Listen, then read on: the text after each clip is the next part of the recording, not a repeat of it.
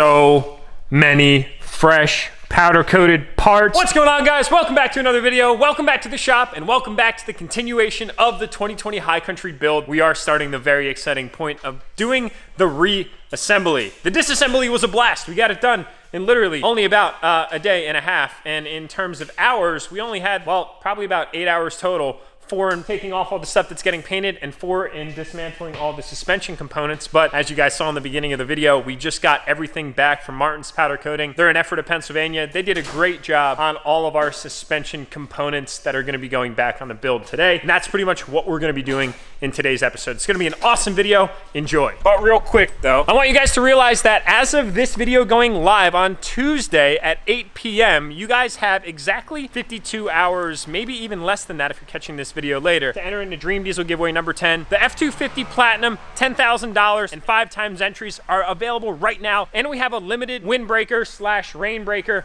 on the site for him and her. Guys, you gotta keep your ladies in mind. Believe me, they like to get stuff in the mail too. So we decided to do a his and her windbreaker that is available right now. I actually wish that I had mine, but they're currently being made and it would be perfect for today. So let's get back in the shop real quick. One of you guys is gonna look great in that thing. So back to what I was saying, we've got all of our parts back from Powder powder coat and they look absolutely amazing. We've got our diff cover that's been powder coated. We've got our receiver that's been just looking so fresh. I don't think I'll ever want to put a trailer hitch in that opening there, ever.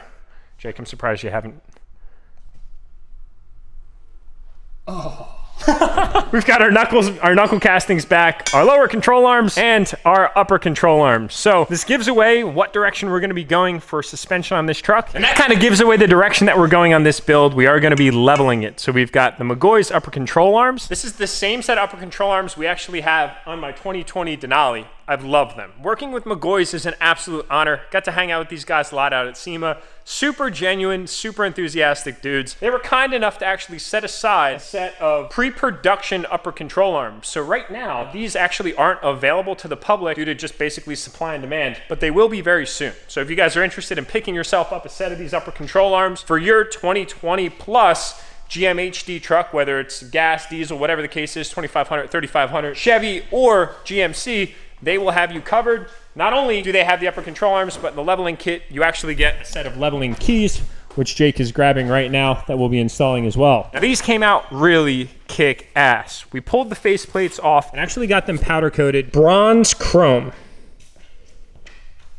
Give you guys a nice look at that color there. And it came out looking absolutely killer. We wanted to play off some of the bronze accents that come from the factory in the 2020s, and that's pretty much what we're gonna do here. Very minor touches that go a long way, and Martin's killed it, absolutely crushed it. So we were able to get these ready to rock and roll, and we basically have to do the reassembly of everything. There's a lot of work that we need to get done, and basically just getting these suspension components ready to put back on the truck. Bushings need to get put back in, upper ball joints need to be back installed. We've got all of our bushings that need to go on the lower control arm here, here, here, there, and then of course we've got our lower ball joints as well. We've got a few of our new tools ready to rock and roll for that process, which makes things a heck of a lot easier, and we'll be smooth sailing here shortly. Now, we do have a nice surprise for you guys that's sitting over there on the shelf, we're gonna get to that here in a little bit, so definitely stay tuned. If you guys are super excited about this build, starting to go in the opposite direction of coming back together, smash that thumbs up button and tap that subscribe button if you haven't already, I see a lot of you guys are actually not subscribed to my YouTube channel, which is cool. I'm glad that you guys are visiting. I hope you like what you see. A lot of you are coming back. I can see that in my analytics as well. And I realize, guys, commitment is a tough thing, especially to my younger guys out there, maybe even that have a chick that's considering getting married one day. Believe me, it's a lot of pill to swallow. But fortunately, this kind of commitment is not that big of a deal. Tap that subscribe if you haven't already. And if not, you know, it's cool. It's still great to have you guys. So as I had mentioned, we do have a lot of work to get done. But before we can actually get started on that, we have to prepare everything for reassembly with all of its fittings and bushings, etc. So we're gonna get started on that right now.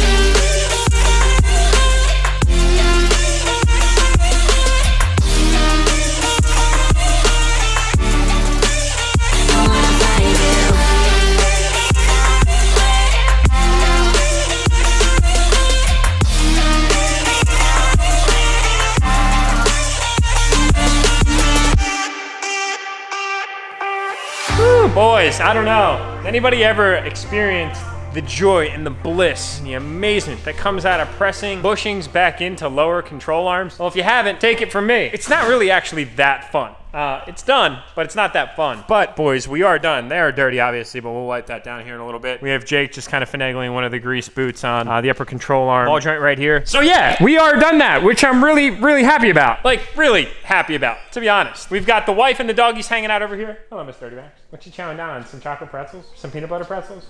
I talk about them in every single upload. I know you guys are probably sick of hearing about the peanut butter pretzels. Oh yeah, they're amazing. If you do not have a Costco Now that'd be sick though. Costco, I see you out there watching. My patience is a little bit tested right now at the front end, so we're gonna move on to the back. Diff cover and receiver are next on our to-do list.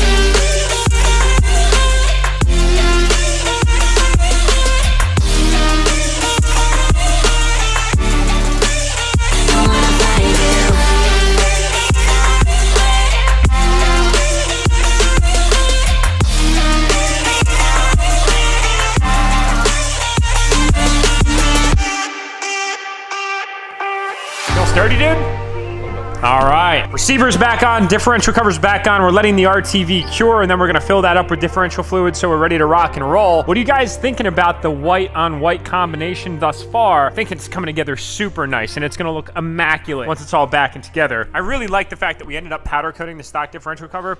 Couldn't find any aftermarket ones, and honestly, factory one looks phenomenal. If you guys are vibing with that setup right there, smash that thumbs up button right now, boys, because, well, we still got a lot of work to do, but this gives you a great idea as to the small little detailed direction that we're going. Now, we bring ourselves back to the front end, and I promised you guys earlier in this video that I had a sweet surprise for you sitting over on that shelf. So check these things out. This, ladies and gentlemen, was the little surprise that we were teasing earlier in the vlog. We've got ourselves some Fox Gen 2 external reservoir shocks for the front end. These are their performance series and they're designed for a leveling kit. They also include oh, your associated hardware and a mounting bracket for the reservoir itself, which will kind of go right on here and it'll pinch the reservoir. But what's pretty cool about these is it's actually it's their new design. Uh, their old design is kind of like what's on Dream Diesel giveaway number 10, if you guys can recall. It's a silver shock cylinder with a silver shock reservoir, but now they have black shock reservoir, anodized black bracket on the bottom here to give it a little bit of, I guess, different flair. I think that's pretty cool. We actually didn't even know that we were ordering these. We grabbed them thinking that they were the Fox Gen 1, which would have been honestly awesome as well, but we got these and it was a little bit of a surprise. So that's going to add a little bit more personality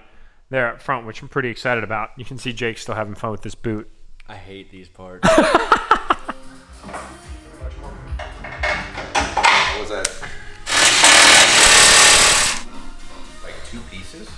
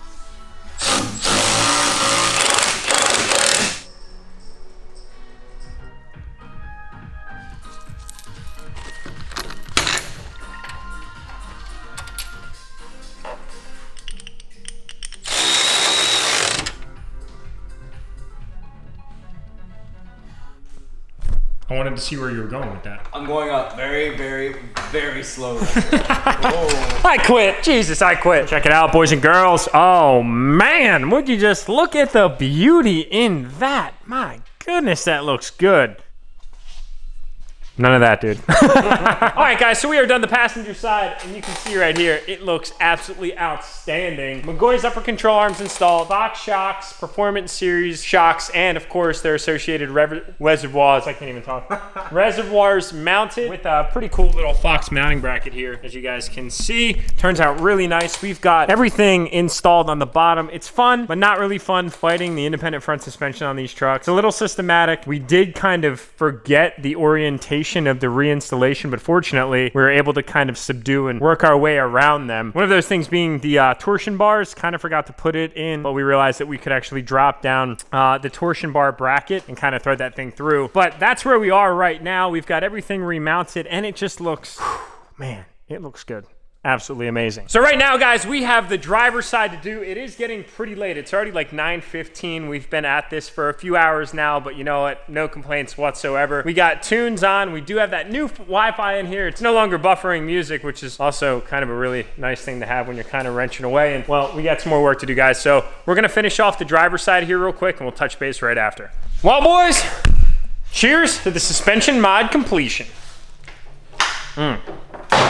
Nothing like a local craft beer in a pounder can to finish off the evening. It's funny how much time filming actually takes. Jake and I were just kind of sharing a laugh over that. And I exaggerate by no means in giving you these numbers. This side took us about an hour and a half's time because I tried to do a majority of the work for you guys to kind of walk you through step by step. And I honestly really enjoyed it. So this is not me complaining by any means, but I think it's an interesting perspective that I kind of wanted to share with all of you versus this side over here. You ready for it? it took us about a half hour. So it really does add considerable amount of time to a project. And I'm sure you've heard this from other YouTubers across the platforms that like to share this kind of similar content or anything really DIY because you got to make sure that you're always catching step by step. And luckily, Jake is a huge helper there. Now, a lot of you guys have been asking like, what does Jake do for me? I mean, Jake doesn't really have a role. He's been a friend of mine for like four years. Uh, he was working a flooring job. We did a whole bunch of like side housing projects together and I mean, it was just kind of always one of those things. We're always kind of chilling. And it got to the point where I was just kind of really needing help, like badly, because I had all these vehicles and I had my shop and I was bouncing from spot to spot and I found myself calling Ubers and hooking up to my gooseneck to get my trailer two miles down the road just so I could be self-sufficient. And uh, he was over one night. We were sharing a beer just like kind of we are right now as we're winding down and we're getting cleaned up. And I'm like, yo, man, you should probably just come work for me because I could use the help and it was uh, A no-brainer. kind of that simple. I was like, yo, if you want, you can take some time to think about it. And I was like, yeah, yeah, I'll take a little.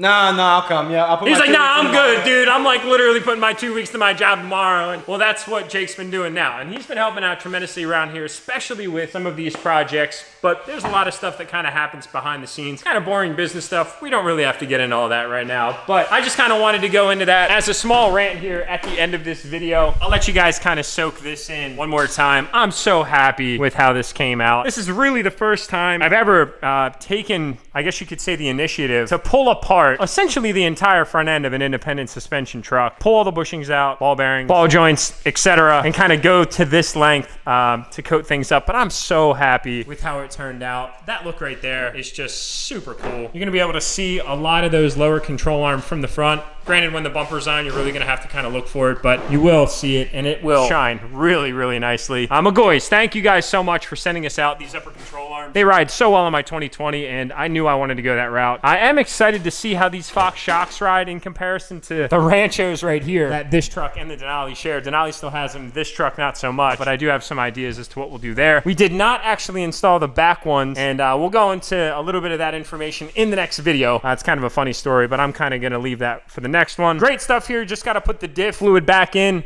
All that RTV should be cured. Nice, fresh receiver. Oh, my goodness it is such a beautiful thing and uh yeah guys this thing is uh transformed considerably can't wait to get all those parts back from Sean over at peach bottom that's really gonna take this truck to the next level and i can't wait and i'm so excited to show you guys what we're gonna be doing with our first set of truly custom in-house built headlights that are sitting patiently right over there on that shelf. Oh, taking you guys outside. It is about 10:45 p.m. We've been at everything for about eight hours now, but man, I'll consider it such a successful day. Hopefully, you guys can see me right now, so I don't have a screen that flips around on this camera, but I do like this camera. Anyway, I just really want to remind you guys that our biggest giveaway ever, the Platinum 2017 Platinum, 25,000 miles on this truck, and truly one of the nicest trucks that we've given away, plus $10,000 is about to end. Five times entries right now, guys. Check out the website for all the information on how to get entered, but seriously consider it. You might be standing right here in literally like two and a half weeks to take possession of that truck and hang out with us for the day. It's gonna be an absolutely awesome time, and I can't wait to meet you. That being said, my likely, I love you guys, do you the best. Tap that subscribe button on the way out. We're gonna jump back inside here, wrap some things up, get everything inside, enjoy the rest of our beers. We're gonna hit the sack. See y'all in the next episode.